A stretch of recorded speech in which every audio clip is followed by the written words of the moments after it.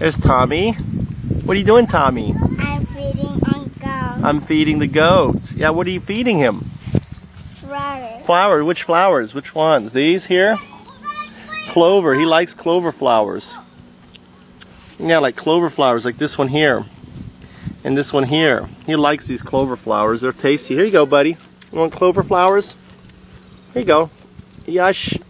He likes those clover flowers. Yeah. He's got some friends. Hello. All right, here's Tommy. What do you got now? What is that? Ah, it's a pretty little flower. What is it? Kumpa. Popos. Right, he likes that. There you go.